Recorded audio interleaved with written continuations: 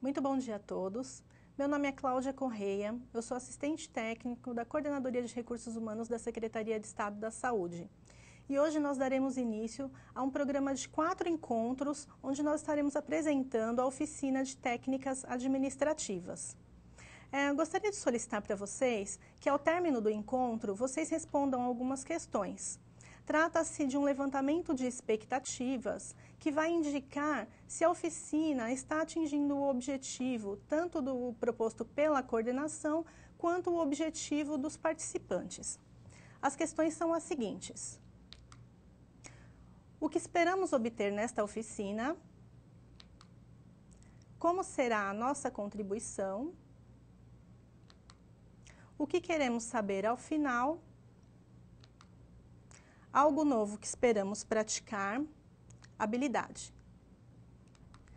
O endereço para vocês responderem essas questões é, aparece agora para vocês, que é o www.ucrhnarede.net barra paprh. Bom, iniciamos com o objetivo da oficina, que é uniformizar as práticas de comunicação oficial e capacitar os servidores da área administrativa para realizarem atividades de apoio administrativo de alta qualidade. A nossa expectativa é padronizar os modelos de documento também e padronizar a redação oficial nas diversas instituições do Estado. O conteúdo programático para a nossa oficina. O que é ser um, um profissional administrativo? Perfil de competências. Características pessoais e profissionais. O papel do profissional administrativo e sua importância. Funções do profissional administrativo.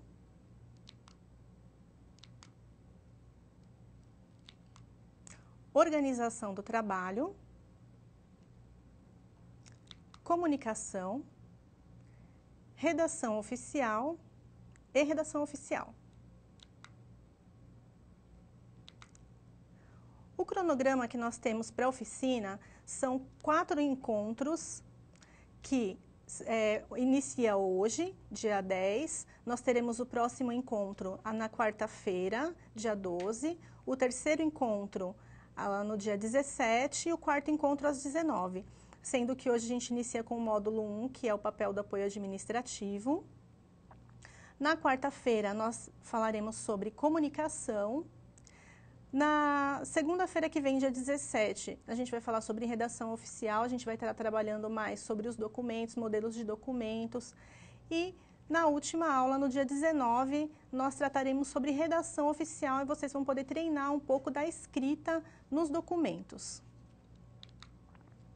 Iniciando agora, o que é ser um profissional administrativo?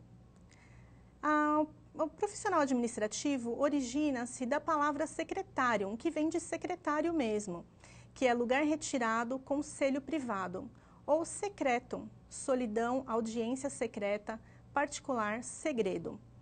Ah, a origem do profissional administrativo, ela, ela vem da, da em termos práticos, ela significa assessorar, prestar atendimento. Né? É um profissional que é encarregado de realizar tarefas, de executar tarefas, é uma pessoa de confiança.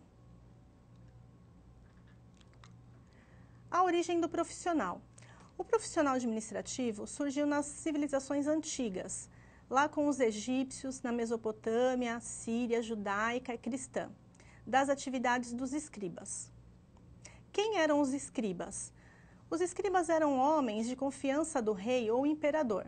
E por possuírem o conhecimento da escrita, eles, er, eles, eram eles que redigiam ordens, cartas, organizavam e classificavam arquivos e muitas vezes eram eles os encarregados do cumprimento ou da supervisão da execução de uma ordem ou lei ou norma. Eles eram profissionais que faziam contas e por eles serem pessoas aptas a receberem essas ordens, normalmente eram eles mesmos responsáveis a executar tais ordens. A história do profissional no Brasil. Surgiu em 1977, com a, lei, a instituição da Lei número 1421, de 1977, é, com, instituindo o dia 30 de setembro como Dia Nacional da Secretária, que foi devido ao aniversário de Lillian Scholes, que era filha de Charles Scholes, inventor da máquina de escrever.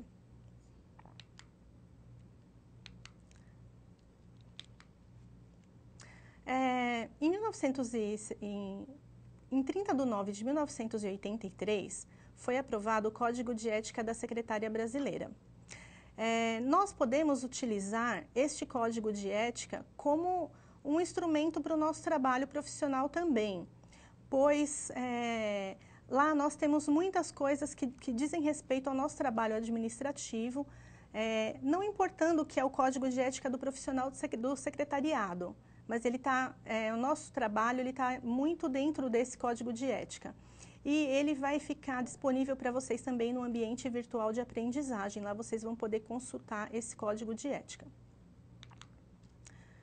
Ah, iniciando agora, o que é competência? Competência é um conjunto de conhecimentos, habilidades e atitudes.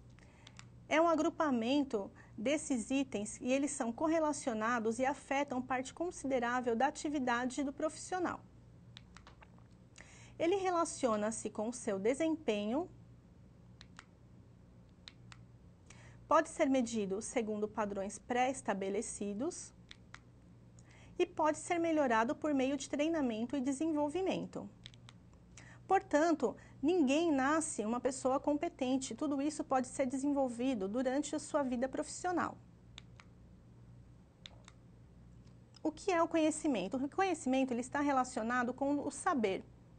Conhecimentos adquiridos no decorrer da vida, nas escolas, universidades, cursos, tudo o que nós aprendemos durante a nossa vida escolar, a nossa vida em comunidade, nós é, trazemos como conhecimentos. Quais são os exemplos de conhecimentos? Conhecer a organização e sua relação com outros órgãos, conhecer os processos e métodos de trabalho,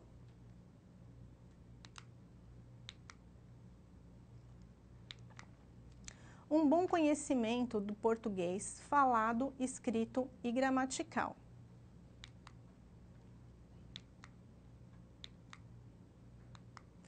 ter boa cultura geral,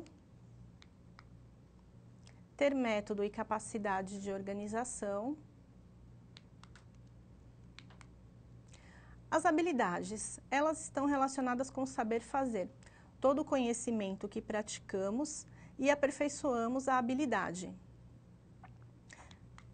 Ah, alguns exemplos que nós temos de conhecimentos, de habilidades é ter uma boa comunicação organizacional e saber ouvir, prática no uso do computador, ter facilidade de expressão oral e escrita. Então, conhecimento, é, habilidades é tudo aquilo que a gente acumulou durante a vida associado à prática. Também são exemplos de, de habilidades, saber tomar decisões, ter facilidade para trabalhar em equipe,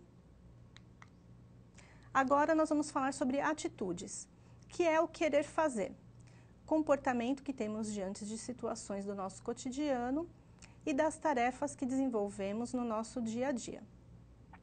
O querer fazer é aquilo que nós estamos, estamos dispostos a fazer. Então, nós temos que é, ter motivação, a gente tem que é, pegar todo aquele conhecimento que a gente adquiriu, no, na nossa vida profissional, nas escolas, na nossa comunidade, aliado à habilidade e transformamos, isso, transformamos tudo isso em ação. Exemplos de atitude. Ser detalhista quando necessário. Ser organizado. Ser discreto. Ter postura ética ter iniciativa, espírito aberto à permanente atualização, provar seu profissionalismo, mostrar o gosto em ser útil, apresentar-se disponível. Bom, então vocês perceberam que assim é muito importante nós é, praticarmos tudo que nós aprendemos, aprendemos e transformarmos em ações, porque isso pode facilitar nosso dia a dia no trabalho. A gente precisa ter iniciativa, a gente precisa mostrar que a gente tem interesse em aprender, que a gente tem interesse em desenvolver e tem interesse em, em trabalhar da melhor maneira possível tudo aquilo que é nos colocado no dia a dia de trabalho. E com isso a gente vai falar agora um pouco sobre o perfil de competências do profissional administrativo. Qual que é o perfil que é o, mais ou menos o esperado, o desejado para um profissional administrativo? Planejar e organizar a rotina diária e mensal, providenciando o cumprimento dos compromissos agendados. Então, o que, que a gente pode tirar disso? A gente precisa sempre ter um planejamento da nossa rotina de trabalho, para a gente não se perder no nosso dia a dia, porque a gente sabe que são muitos os compromissos, às vezes, as, às vezes a gente trabalha como secretário de algum gestor, então a gente precisa ter sempre uma agenda à mão, precisa sempre ter o controle de todos os compromissos, não só os nossos, como os do, dos nossos chefes, né, no caso de profissionais que secretariam gestores para não deixar que passe nenhum compromisso em branco, né? a gente não se esquecer, não se perder, né? porque como dizem, mais vale um lápis pequeno do que uma grande memória. Organizar e executar tarefas relacionadas ao expediente geral. Trabalhar com disciplina e metodologia. Utilizar as regras de ergonomia, higiene, segurança e saúde no trabalho. Esse item é, vocês vão verificar na aula de comunicação, vai ser explicado direitinho, porque nós precisamos é, tomar cuidado também com a nossa postura no dia a dia de trabalho, porque para não prejudicarmos a nossa saúde. Então a gente precisa sentar com uma postura ereta, ter higiene no nosso ambiente de trabalho. A gente não pode comer em cima do computador, deixar migalhas, isso pode prejudicar o, o equipamento, isso pode prejudicar o nosso trabalho, a gente pode derrubar um café num documento importante e não ter como recuperar, então a gente precisa tomar bastante cuidado com esses itens. Ergonomia, higiene, segurança e saúde no trabalho. Revelar as qualidades pessoais e profissionais inerentes à função, revelar espírito crítico e hábitos de tolerância e cooperação. Esse também é um item muito importante, porque a gente precisa é, criticar quando for necessário, porque às vezes a gente recebe alguma tarefa e a gente precisa saber o porquê que a gente está fazendo aquilo. Mas a gente não pode fazer as coisas mecanicamente. Né? Você tem que falar, não, mas por quê? Esse trabalho que você está me pedindo, qual que é o impacto dele? O que, que isso vai trazer de benefício? Se você trabalha num, num, num hospital, o que, que isso vai trazer de benefício lá para o paciente, né? No, no, que é o, o cliente final de quem trabalha na Secretaria da Saúde, por exemplo, que é o meu caso. O meu trabalho é um trabalho administrativo, só que no final ele vai ter um impacto lá na frente para o paciente. Então, a gente precisa também saber qual que é o impacto do nosso trabalho e saber que o nosso trabalho é importante. Independ... A gente acha que a gente está num ambiente administrativo e que isso não vai influenciar em nada. Só que isso não é verdade. Isso tem um impacto lá na frente, lá na, na, na atividade fim da nossa secretaria. A gente precisa também praticar tolerância e ter cooperação. A gente precisa cooperar com os nossos colegas de trabalho e também com todos os parceiros demonstrar criatividade e abertura à inovação. Então, a gente tem que estar também sempre atento, porque a gente está num, num mundo né, de interatividade, é internet, a gente está aí com, com o mundo globalizado, a gente tem informações que chegam para a gente a todo segundo, sempre novidades, então a gente tem que estar sempre aberto para receber essas novidades e tentar aplicar no nosso dia a dia realizar as tarefas de forma autônoma e responsável. E esse item também é um item importante. A gente não precisa ficar esperando receber uma, um, uma ordem, ah, esse trabalho você deve realizar dessa maneira. Isso aí normalmente a gente já recebe no começo, quando a gente inicia o nosso trabalho. Então você já tem que chegar, quando chega um documento para você, às vezes é um documento que, que, é novo, é uma novidade, mas procura saber, pesquisa, vê se já aconteceu alguma coisa daquele tipo, né? E tenta ter autonomia e tentar resolver de forma responsável, sempre lembrando. Cooperar e trabalhar em grupo de forma a manifestar espírito de equipe e capacidade de relacionamento. Agir de forma ética nas mais diversas situações. Reconhecer os diversos públicos da instituição e aplicar as normas de atendimento. Reconhecer a importância do profissional administrativo na imagem de uma organização e aplicar as regras protocolares. Esse também é um item que a gente precisa destacar, porque, como eu já falei, o nosso trabalho administrativo ele é de extrema importância para todas as áreas, da, todas as instituições do Estado de São Paulo. Ele é um trabalho importante, ele tem impacto lá na atividade fim. E, e o nosso trabalho, ele da imagem da organização. Quando alguém chega para procurar um, um, serviço público, ele vai se deparar primeiramente com um profissional administrativo, que é numa recepção. Então, aquele primeiro atendimento é o que vai falar o que, que é a sua instituição. Se você fez um bom atendimento, a, o cliente que vai, vai sair dali com uma boa impressão e vai falar, nossa, aquele, aquele serviço é um serviço de qualidade, as pessoas recebem bem, elas têm um bom atendimento. E o contrário também.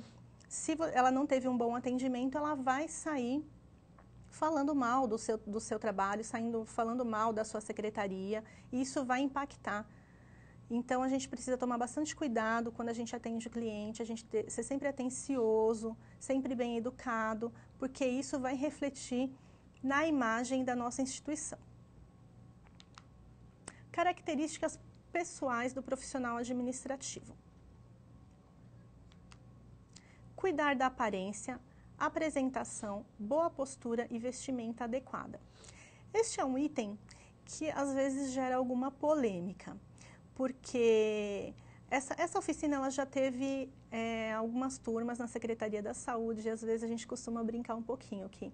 Na primeira turma que a gente teve, a gente falou que é, a gente tem que tomar cuidado com as vestimentas, tomar cuidado com a aparência, porque a gente precisa se vestir adequadamente.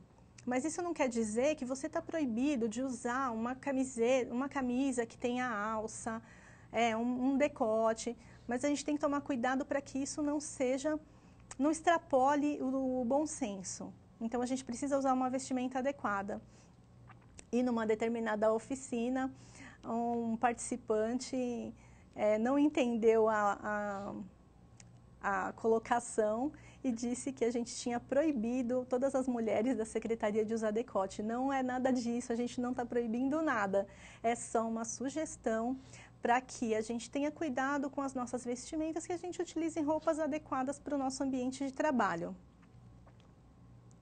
Outro item, simpatia e cortesia. Então, como nós já falamos anteriormente, a gente tem que tratar o nosso cliente com simpatia, tem que tratar o nosso cliente com cortesia. E o nosso cliente não é só aquela pessoa de fora que veio buscar o atendimento na nossa, no nosso serviço. É o nosso colega de trabalho. Se nós trabalhamos em recursos humanos, por exemplo, o nosso cliente, o principal, é o próprio servidor, que vai lá no RH buscar informações funcionais, ele vai lá é, saber do, do dos seus, da sua vida funcional, vai saber da, dos seus benefícios. Então, a gente tem que tratar o nosso colega de trabalho, que também é nosso cliente, com simpatia e com cortesia. Outro item. Lealdade, honestidade e perspicácia. Esse item dispensa explicações. A gente sempre tem que trabalhar com lealdade, com honestidade, perspicácia. A honestidade ela tem que já estar tá dentro da gente. Isso a gente dispensa explicações. Boa memória escrita e visual. Como eu já falei, a, mais vale um lápis pequeno do que uma grande memória. A gente sempre tem que tomar cuidado, a gente sempre tem que fazer anotações. Às vezes a gente atende um telefone e recebe tanta informação naquele momento, se você não faz nenhuma anotação, você pode perder alguma coisa importante que ficou e não conseguir dar andamento àquele trabalho porque você não fez as devidas anotações. Facilidades de comunicação oral e escrita. Espírito de equipe, iniciativa e cooperação capacidade de adaptação. No serviço público, a gente trabalha assim com muitas mudanças, acontecem muitas mudanças sempre. Às vezes a gente está trabalhando num setor, aquele setor precisa ser modificado e a gente né, é transferido para um outro setor. Às vezes é aberto um setor novo no trabalho e aí precisa ser remanejado. Então a gente tá, tem que estar tá sempre aberto a mudanças, a gente precisa ter capacidade de adaptação porque isso também vai refletir no nosso crescimento profissional. Porque se a gente não for, é, se nós não formos pessoas ca é, capazes de nos adaptarmos às mudanças, a gente não tem possibilidade de crescimento. Porque para a gente crescer, a gente precisa mudar, a gente precisa se adaptar a novas situações. Então, sempre seja uma pessoa é capaz de se adaptar a novas situações e a mudanças. Outro item, estabilidade emocional. resistência à rotina e ao estresse. É difícil. Né? É difícil a gente, às vezes, pensar nesse item, né? Resistência à rotina e ao estresse, ter estabilidade emocional. Às vezes a gente recebe um cliente que é um pouco alterado, um pouco nervoso, aí ele desestabiliza a gente um pouco emocionalmente, mas a gente sempre tem que tentar manter o autocontrole, e tentar atender a pessoa da melhor maneira possível. Por mais que ela esteja nervosa, a gente tenta acalmar, conversa e acaba sempre dando tudo certo. Então a gente precisa tentar, pelo menos, manter esse controle emocional. O estresse a gente vai ter sempre na nossa rotina de trabalho, isso é inevitável, mas com o autocontrole a gente consegue lidar com todas essas situações. Assertividade. Então, a gente tem também que tentar sempre manter o foco, né, o foco no nosso trabalho. E isso é muito importante também, porque às vezes tantas coisas que chegam para a gente de informação, a gente acaba se perdendo. Um exemplo é, a gente está escrevendo um e-mail, toca o telefone, a gente não terminou de fazer o e-mail, e a gente estava ali é, pensando, escrevendo, é, elaborando um texto, e no momento que você atendeu o telefone, você perdeu toda aquela concentração que você estava no texto. Então, tentar fazer uma coisa de cada vez, né? Isso é muito importante, a gente tentar manter o foco. O papel do profissional administrativo e sua importância. O profissional administrativo, ele é um agente multiplicador. Por que, que ele é um agente multiplicador? porque ele vai pegar todas as informações passadas pelo chefe e vai transmitir para os outros profissionais. Se ele é um, um, um, profissional que secretaria, um gestor, por exemplo, o chefe vai passar informação, ele vai transmitir para todo mundo, para todos os outros gestores que são de uma hierarquia inferior, e isso vai se, ser disseminado. Ou o contrário também, ele vai pegar as informações e transmitir para o chefe. Então, ele sempre vai trabalhar como um agente multiplicador. E com isso ele é um elo, porque ele vai fazer a ligação entre as informações que vêm da, da, dos chefes, de outros setores, de outras unidades e vai passar para os profissionais e vice-versa. Então, ele vai sempre trabalhar como um elo. E é também, como nós já falamos, é um profissional de confiança. É um profissional que recebe muitas vezes informações confidenciais.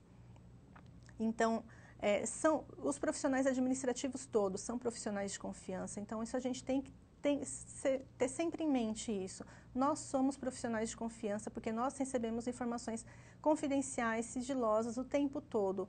A gente trabalha com informações de servidores, a gente trabalha com informações do nosso setor e sempre são informações confidenciais. Então, a gente sempre tem que ter isso em mente. Nós somos profissionais de confiança na nossa instituição. Quais são as funções do profissional administrativo? Marcar e controlar compromissos, reuniões e viagens. Responder e fazer chamadas telefônicas. Atendimento a visitantes. Realizar serviços administrativos em geral. Preparar espaço para reuniões, assistir e fazer ata da reunião fazer requisição de material de escritório, preencher ordem de serviço, manutenção predial ou de informática, preencher requisição de veículo, fazer cópia e arquivar documentos. Agora, só fazendo um parênteses, para esse item, fazer cópia e arquivar documentos a gente precisa tomar muito, muito cuidado com os documentos. A gente precisa ter cópia dos documentos. Um exemplo, você recebe um ofício, um ofício importante, e você vai fazer a resposta daquele ofício. O seu chefe vai elaborar a resposta ou você vai elaborar a resposta. E o que acontece? Muitas vezes você vai guardar a cópia simplesmente da resposta que foi feita. Aí você vai mandar a resposta junto com aquele ofício e, e foi embora. O ofício original e ficou guardado só o ofício da resposta.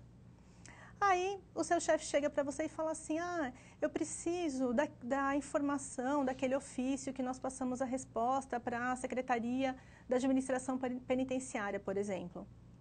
Aí você vai resgatar aquele documento. Quando você pega a informa, justamente a informação que ele precisa, não está naquele documento de resposta. Ele está no documento que originou aquele ofício de resposta. Então, a gente sempre tem que ter cópia dos documentos que nós encaminhamos, que nós recebemos e encaminhamos de volta. Se a gente precisa devolver a resposta com o documento original, a gente procura fazer uma cópia. Que não, mesmo que não seja uma cópia em papel, porque a gente tem que tomar cuidado também, tem a questão da sustentabilidade. Mas a gente tem scanner, a gente pode fazer é, para quem tem scanner, porque a gente sabe também que não são todas as unidades que tem mas para quem tem, fazer cópia digital e deixar também arquivado no seu, no, no seu computador. Controlar a entrada e saída de correspondências e documentos. Elaborar e digitar relatórios, documentos oficiais, documentos diversos e e-mails tomar ditados para a elaboração de documentos. Essas são as funções, as básicas de um profissional administrativo. A gente sabe que não é só isso, tem muitas outras, a gente procurou listar aí né, as, as mais corriqueiras, as mais rotineiras. Agora a gente vai falar um pouquinho sobre organização. O que é organização? Inicialmente, a gente tem duas palavras que são elas são diferentes, mas assim a gente vai ver que na prática elas se juntam um pouquinho, são parecidas, que é organização e arrumação. Tem diferença, porque muitas vezes a gente faz arrumação no nosso dia a dia e imagina que está sendo organizado, mas não está. A gente só, só, está arrumando, não está organizando. Então agora a gente vai mostrar algumas imagens que vão definir, que vai ficar mais claro qual que é a diferença entre organização e arrumação. Arrumação é uma metodologia individual, não precisa de projeto, dispensa profissional habilitado para tal. Então a gente pode ver aí, eu não sei se está muito claro para vocês, mas é uma imagem de um armário de sapatos que está arrumadinho. Ele não está organizado, porque se a gente pedir um sapato de salto alto azul, fica difícil da gente achar assim logo de cara. Né? Então, ele está arrumado, o armário, ele não está bagunçado, está arrumado, mas não está organizado. Agora, a gente vai ver a diferença. Organização, metodologia corporativa, necessita de um projeto, um plano de ação. As etapas são programadas, os resultados são satisfatórios e garantidos. Então, a gente pode verificar aí na imagem também que é, um, é praticamente o mesmo armário, a diferença é que os sapatos estão organizados em caixas todas da mesma cor com a foto de cada sapato. Então isso facilita na hora de você resgatar. É a mesma coisa que a gente precisa fazer com a questão documental. A gente precisa saber organizar. E principalmente, é, nos, hoje a gente trabalha bastante com documentos, é, tanto físicos como digitais. Então a gente precisa tomar cuidado com a organização nos dois casos. Nos documentos físicos, a gente tem que procurar manter um arquivo é, limpo, bem separadinho, a gente separar por pastas, por assunto, para quando a gente precisar resgatar um documento, ele seja de fácil acesso. Não seja um, um documento de difícil visualização, de difícil, é, de, difícil de encontrar. E no computador piorou. A gente vê muitos arquivos de computador que estão todos bagunçados. A gente não tem pasta nenhuma, não tem pasta de ofício, não tem pasta de informação, é, fica tudo bagunçado. Então, a gente precisa ter um mínimo de organização nos documentos digitais também. Né? Procurar manter pastinhas separadas por, por documento, por exemplo, pastinha de ofício, e dentro da pastinha de ofício a gente pode também separar por assunto. Ofício de transferência, ofício de de afastamento, e, e enfim, né, dos assuntos que, que a gente trata no nosso dia a dia. Então, sempre separar as pastinhas por assunto, por, por tipo de documento e por assunto. Isso já vai ajudar bastante no nosso dia a dia para a gente resgatar esses documentos.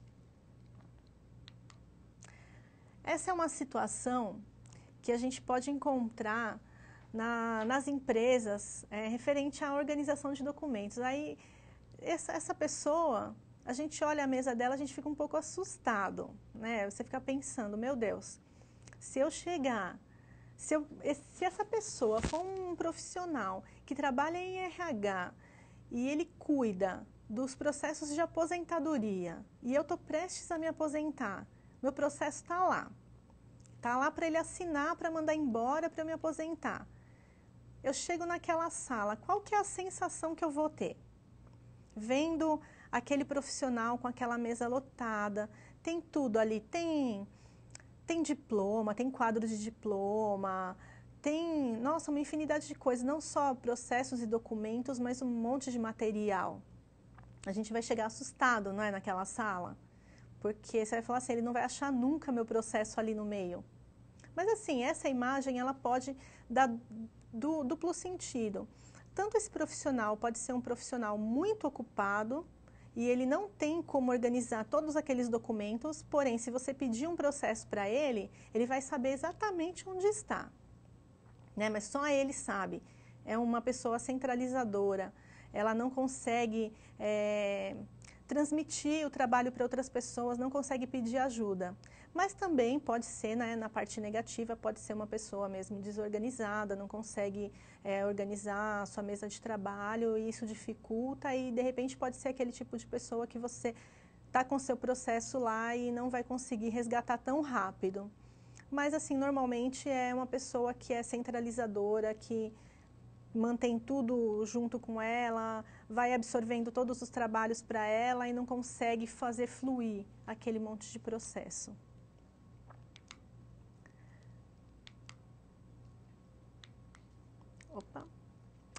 É, agora nós vamos falar, falar um pouco sobre trabalho em equipe e organização. Trabalho em equipe é o processo de dar e receber informação, conhecimento, afeição, etc., por parte de cada um dos membros. Essa troca propicia conhecimento individual, coletivo, individual e coletivo quando as pessoas realizam atividades juntas com cooperação e comunicação constantes, elas se tornam capazes de identificar uma forma de melhorar a organização e, realiza e a, a realização do trabalho. Então, eu vou aproveitar esse tópico de trabalho em equipe e vou contar uma historinha que eu sempre conto nessa, nessa parte de trabalho em equipe, que é uma, uma historinha que eu peguei na, na internet que é muito interessante. Ela fala sobre é, uma plantação de feijão, que tinham três operários. eles não sabiam o que o outro fazia. Eles chegavam lá, eles trabalhavam e ganhavam por dia. Nenhum sabia qual que era a atividade do outro. Eles simplesmente chegavam, faziam o trabalho. Um cavava um buraco, o outro jogava a semente e o outro tampava o buraco. Então eles passavam os dias assim, cavando buraco, jogando a semente, tampando o buraco. E no final do dia recebiam seu dinheiro e iam embora sem se, sem se importar um com o trabalho do outro. Num belo dia, o profissional que coloca a semente faltou. O que, que aconteceu naquele dia? O profissional que abriu o buraco foi lá e abriu o buraco. O que jogava a semente faltou. Então não tinha ninguém para fazer essa atividade. O outro chegou e tampou o buraco. Então eles passaram o dia todo assim. Um abriu o buraco, o outro tampava o buraco. Um abriu o buraco, o outro tampava o buraco. No final daquele dia, eles receberam o dinheiro deles, eles foram embora, trabalharam, tiveram o, o, a receita do trabalho deles. Só que qual foi a produtividade daquela empresa, daquele trabalho, daquela plantação? A produtividade foi zero. E foi zero por quê? Porque eles não tinham trabalho em equipe. Eles tinham o que a gente chama de trabalho em grupo. Eles trabalhavam em grupo, eram três pessoas que faziam atividades em conjunto porém sem se interligarem, sem um saber o que o outro faz, porque se eles trabalhassem em equipe, eles poderiam é, organizar uma, um esquema, num caso de um faltar, o outro cobre, se, o que, jogou, que joga semente faltou, quem é que vai jogar semente? Ah, eu abro o buraco, jogo a semente e você vai tampando o buraco. No período da tarde a gente inverte, né? Isso é o trabalho em equipe porém eles não tinham esse tipo de trabalho. Então a gente vê que a gente precisa no nosso dia a dia conhecer um pouco do trabalho do nosso colega do lado, do nosso setor do lado. A gente precisa estar sempre em sintonia com, com o trabalho que está à nossa volta, porque um dia pode ter uma, a falta de um profissional e a gente precisar dar uma informação de urgência e se a gente não tiver antenado, não estiver ligado, a gente vai, vai ficar devendo isso. E as, normalmente as pessoas cobram isso da gente, né? A gente precisa estar sempre preocupado em, em ficar por dentro das informações, para não deixar ninguém com falta de informação, porque um profissional ou chegou mais tarde, ou faltou porque precisou ir ao médico, ou teve algum problema. Então, a gente tem que, sempre que ter todas as informações para passar para o nosso cliente. É, continuando agora com a, o conceito, é, essa troca de conhecimento que a gente tem no trabalho em equipe, ela propicia o crescimento individual e coletivo. Quando as pessoas rea realizam atividades juntas, com cooperação e comunicação constantes, elas se tornam capazes de identificar uma forma de melhorar a organização e a realização do trabalho.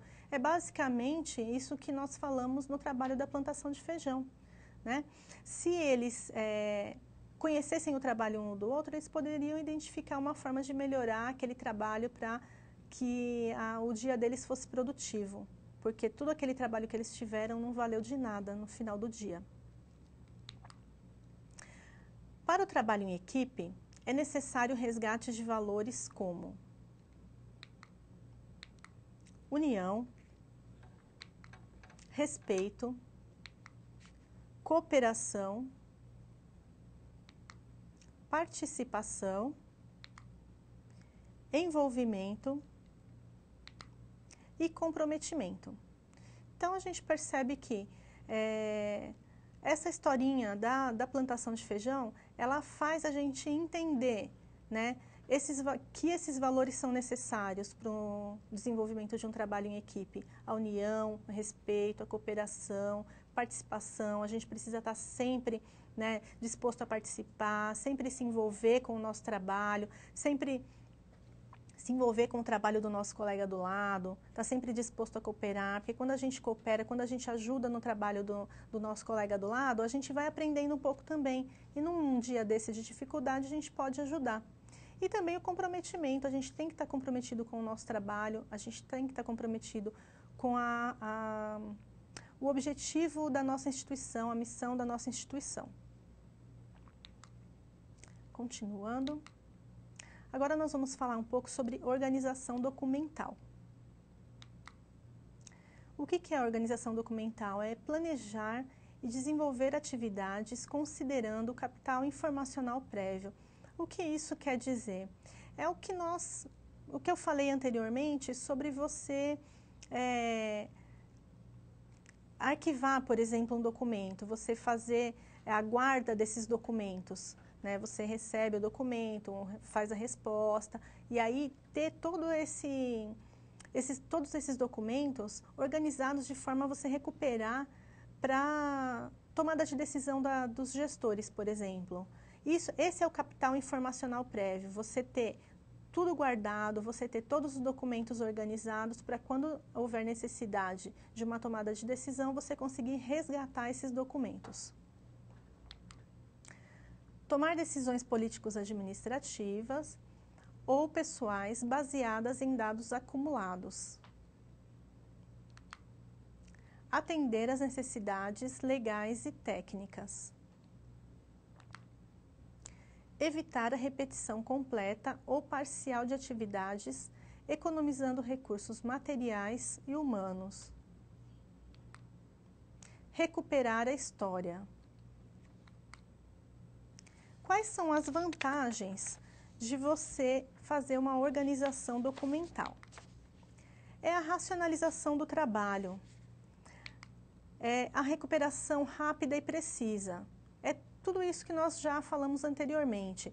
É você conseguir ter à sua disposição, ter à mão, tudo o que você precisa de, de informação documental, de, de informação que você vai precisar para a tomada de decisão, tanto sua como dos gestores, e também você conseguir ter essa recuperação rápida e precisa dos documentos. Então, se você tem uma boa organização documental, quando você precisa dar uma resposta, quando você precisa tomar uma decisão, você consegue ter essa recuperação rápida da informação. Outro item, o impedimento do acréscimo indiscriminado do volume de documentos. Então, a gente tem que tomar cuidado com isso também, porque às vezes a gente recebe um documento e fez uma resposta para aquele documento e arquivamos tudo. Aí aquele documento foi, passou pela outra unidade, aí eles fizeram uma nova resposta e mandaram de novo para a gente. Aí a gente vai pegar, aí já tem três documentos, tem o que veio pela primeira vez, a nossa resposta, e depois veio com a resposta deles, da outra unidade. A gente precisa tirar cópia de tudo de novo? Não, a gente não precisa tirar cópia de tudo de novo. A gente vai resgatar aqueles que a gente tinha anteriormente arquivado, vai pegar a nova resposta e vai juntar aqueles documentos anteriores. Então, a gente, com isso, a gente impede o crescimento indiscriminado de documentos, do volume de documentos. A gente vai manter um volume adequado no nosso arquivo, senão o nosso arquivo não vai ter fim de tanto documento, de tanto papel. Isso se, não tiver, se a gente não tiver à disposição um scanner para fazer o arquivo digital dos documentos. Outro item é a otimização de seus espaços físicos de trabalho. O controle do trâmite de processos desde sua geração até a sua destinação final. Então, é basicamente isso que nós acabamos de falar, que a gente tendo é, o, toda a informação, todo, todos os documentos sempre em mão, sempre bem arquivados, a gente vai ter esse controle desde que o, do, o documento deu início até o final, até, o, a, por exemplo, um processo de transferência. A gente tem, tem tudo dentro do processo, só que o processo ele tramita em várias instâncias, em várias unidades. Então, se a gente tem é, o mínimo de documentação daquele processo com a gente, a gente vai saber onde ele está, é, a gente tem hoje sistemas que, de protocolo que a gente consegue verificar onde o processo está, qual que é a, a localização dele e o que, o que ele está, o que está tramitando dentro daquele processo, a gente consegue visualizar nesses sistemas de protocolo. Outro item. A facilidade de transferência ou a eliminação dos documentos. Porque se a gente tem os documentos sempre bem organizados, outro, outra coisa importante também, que normalmente as, a, os setores já fazem, é organizar o arquivo por ano.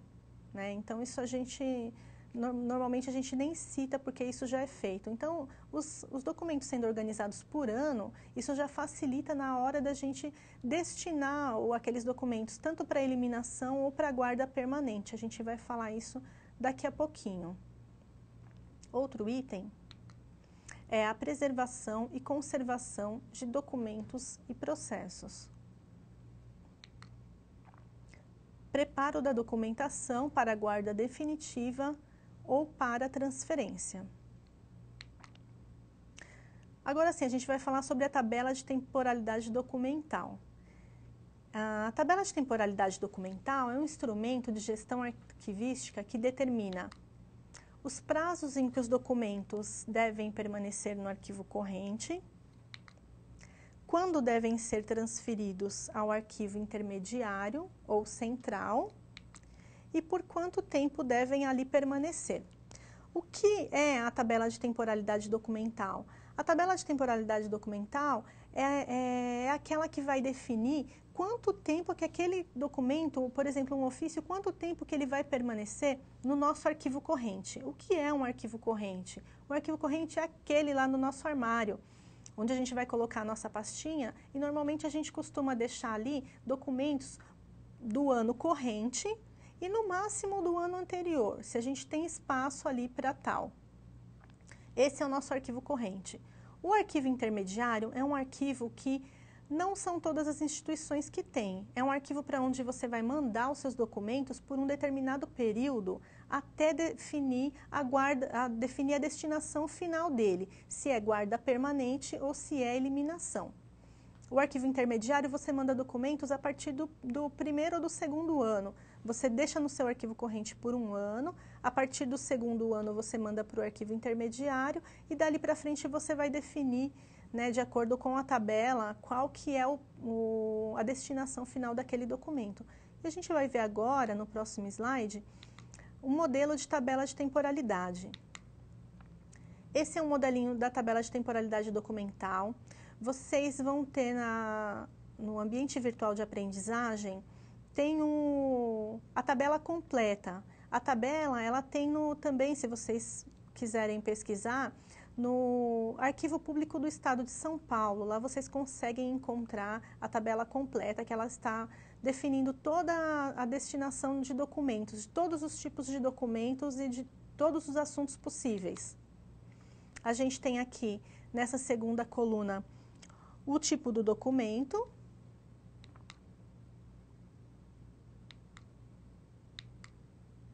que é, nesse caso, uma ata de reunião e ela é toda codificada, todos, todos os documentos são codificados. Nesse caso, é a ata de reunião. O prazo de guarda, né, que é sempre em anos. Quanto tempo que ele vai ficar guardado? Em primeiro lugar, a gente tem aqui na unidade produtora, que é no nosso setor. Quem produz o documento? quem emitiu aquele documento é que vai fazer a guarda dele. Então, aí ele vai definir quanto tempo que ele vai ficar arquivado na unidade produtora, que é o nosso arquivo corrente. Nesse caso, a ata de reunião ela vai ficar dois anos na unidade produtora.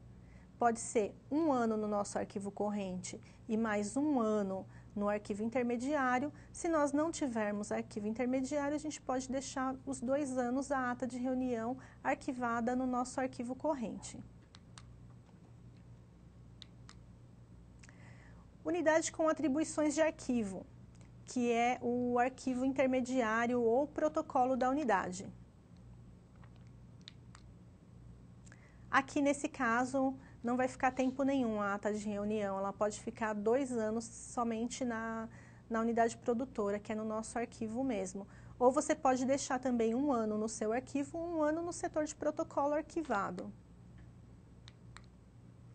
Qual que é a destinação desse documento depois da, dessa, primeira, dessa primeira guarda, que são dois anos? O que, que você vai fazer com ele depois que ele sair do seu arquivo?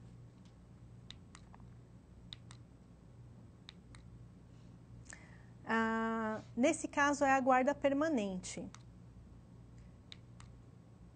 Porque a ata de reunião, ela é um documento de guarda permanente, você não vai poder eliminar nunca. Né? No primeiro quadradinho ali da destinação, no primeiro quadradinho da destinação, na primeira coluna, é, a destinação é eliminação. E no, na segunda coluna é a guarda permanente. Então, a ata de reunião, ela tem guarda permanente, ela é um documento que, que não pode ser eliminado. Você vai mandar para o arquivo, para o seu arquivo central, para o arquivo do Estado, porque o arquivo do Estado também recebe documentos para guarda permanente. Ou então você vai deixar no arquivo morto da sua unidade, que é o que costuma acontecer.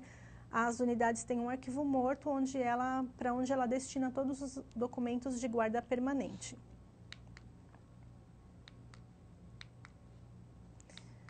Para próximo exemplo,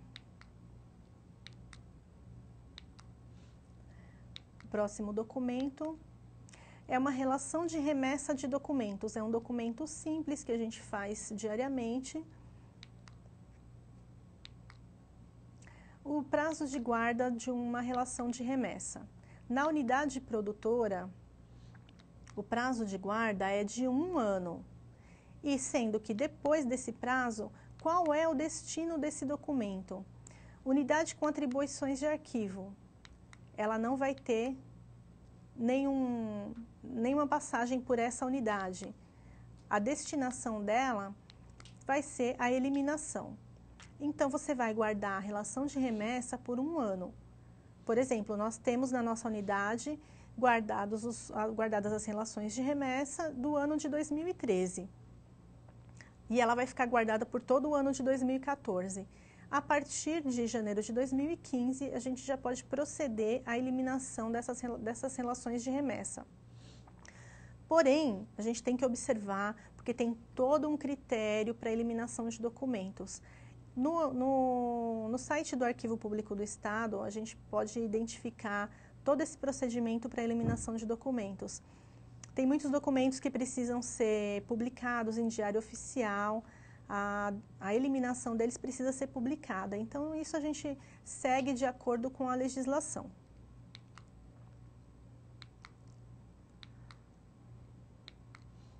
Um outro item, na tabela de temporalidade, o próximo documento, é, são circulares avisos, comunicados, memorando, comunicação interna, que são, são também documentos corriqueiros do, dos profissionais administrativos.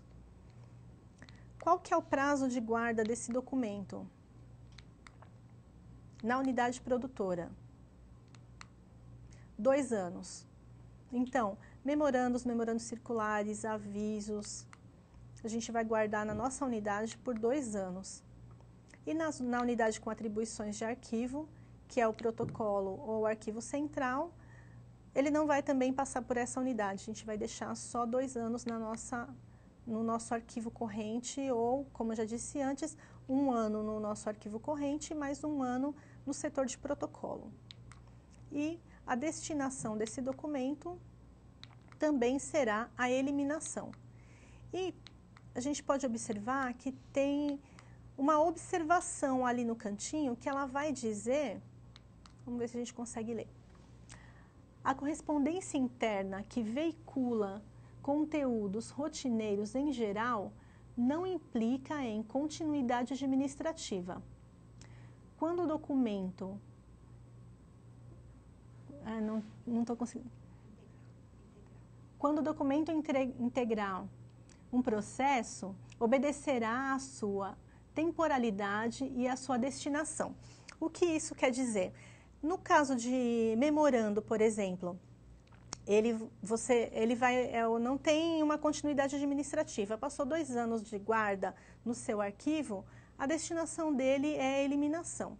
Porém, se o seu documento faz parte de um processo administrativo, ele vai ter que, é, a guarda dele vai durar a, o tempo do, da duração do processo administrativo e pode ser que, que esse documento seja de guarda permanente. Se ele fizer parte de um processo de ação judicial, também ele vai, a temporalidade dele vai seguir a temporalidade do processo de ação judicial, que também pode, pode vir a ter guarda permanente. Então a gente tem que tomar cuidado com isso também. Não é porque o documento é um memorando é um aviso que ele vai, depois de dois anos, você pode descartar. Então você tem que fazer uma seleção desses documentos para saber se você vai poder descartá-los, eliminá-los, ou se você vai ter que fazer a guarda deles, dependendo do assunto. Ah, agora vamos falar um pouco sobre organização do material. O que a gente precisa ter sempre em mãos?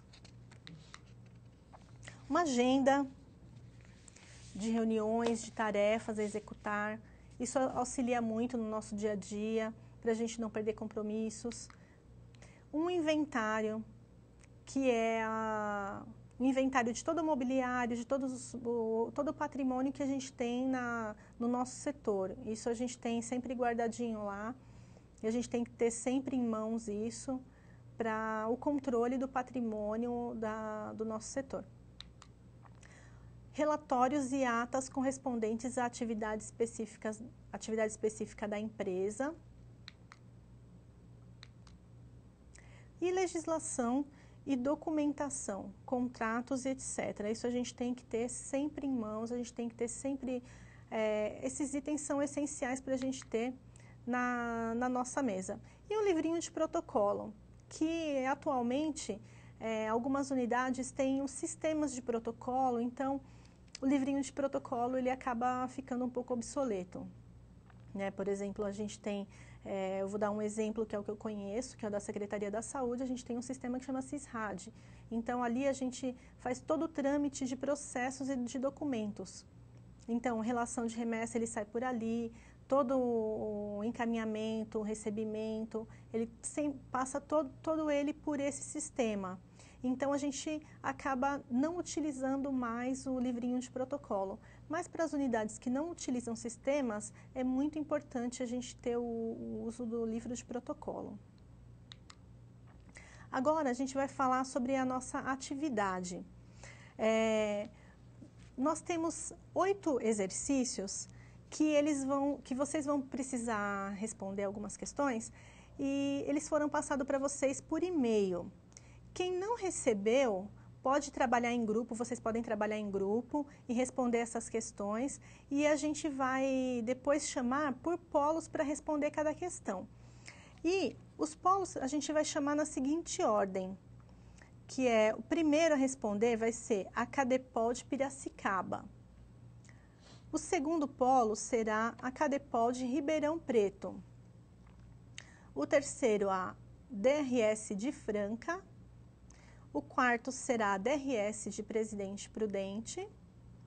O quinto será DRS de Registro. O sexto polo será DRS de São José do Rio Preto. O sétimo polo será a é, Secretaria de Gestão Pública, Fundap São Paulo. E o oitavo, a sede da Secretaria da Gestão Pública de São Paulo. É, nós temos aqui a questão 3, que vocês receberam aí, só que ficou faltando um, um item, que é no setor de protocolo, os documentos de natureza sigilosa devem ser encaminhados diretamente aos respectivos destinatários. Faltou essa informação. Indique com C caso a informação esteja correta e com E caso a afirmação esteja errada. Então, aí, dentro desses parênteses, vocês vão indicar se a resposta está certa com C, está errada com E. Então, nós teremos uma pausa de 20 minutos para vocês realizarem a atividade e no, no, quando nós voltarmos, a gente já começa chamando os polos para as respostas. Até já!